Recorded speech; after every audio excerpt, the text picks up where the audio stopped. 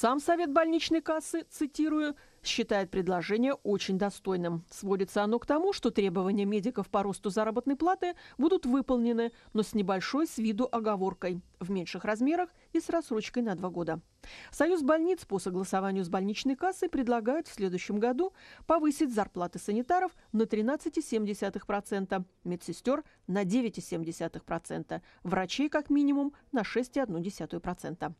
Больничная касса готова увеличить и время первичного визита к врачу-специалисту на 5 минут, чтобы тот более основательно занимался пациентом. На этом тоже настаивали бастующие. Все эти предложения будут действительны при восстановлении трудового мира.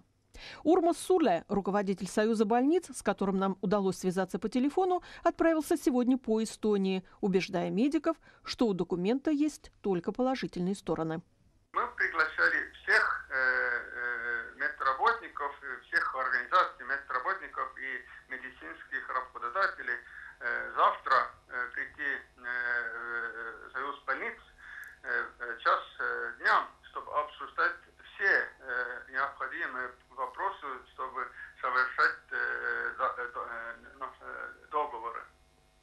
Если завтра врачи и работники медицинские примут ваше предложение, будет ли это означать, что закончится забастовка медиков?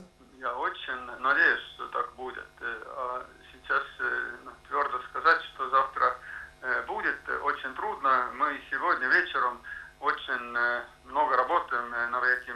Я очень надеюсь, что удается завтра,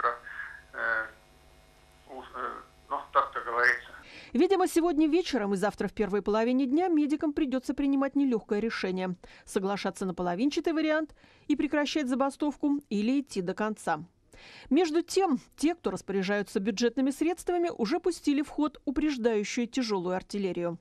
Министр социальных дел Ханну Певкур заявил, что для выполнения компромиссного решения придется повысить плату за койко-место и плату за первичный визит.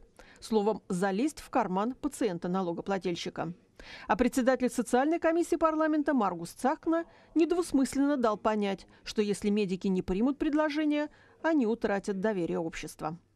Словом, тактика сталкивания лбами, описанная еще в «Капитале Маркса», после вброса информации о заоблачных зарплатах врачей и переговоров с частными клиниками, готовыми взять на себя за деньги, конечно, заботу о пациентах, хорошо ложится на современную действительность. Наталья Малюс, Вячеслав Скалецкий, Первый Балтийский канал.